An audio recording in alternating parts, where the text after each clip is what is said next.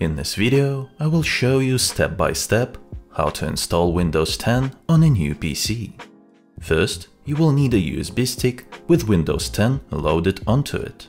You can make one yourself or get it when you buy a physical copy of Windows. If you already have one of these, then skip to the next step. If you don't, I will show you how to make it. Take a 16 or 32 GB USB stick and connect it to any Windows 10 computer. Open the File Explorer, locate the USB stick, right-click on it to open the menu and choose Format. Select the FAT32 option and click Format. Once that is done, head over to the official Microsoft webpage to download Windows 10. I will leave a link to it in the description below for your convenience. Scroll down and click on Download tool now.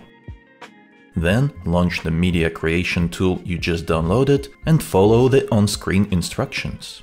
Just make sure that you choose the Create Installation Media option. Once this process is done, you will have a Windows 10 installation USB that you can use now and in the future. Bonus tip Download the LAN driver from your motherboard manufacturer website and put it on the same USB stick. That way, you can run it on a freshly installed Windows and have the internet working right away to download other necessary drivers and apps. Now you are ready to start installing Windows. Insert the Windows 10 installation USB stick into one of the USB ports at the back and power on the computer.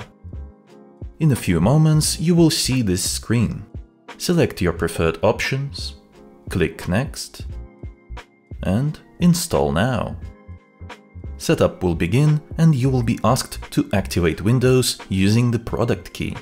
Type it in now if you already have it, or click on I don't have a product key to start the installation without it. By the way, you can get an OEM Windows 10 product key very cheap and save a lot of money thanks to this video's sponsor, CDKeyOffers. They are running a back-to-school sale on all Microsoft software until the 1st of September. Don't forget to use my code IV20 to get a 20% discount. And safely check out with PayPal for instant key delivery. Get it now at the link in the description below.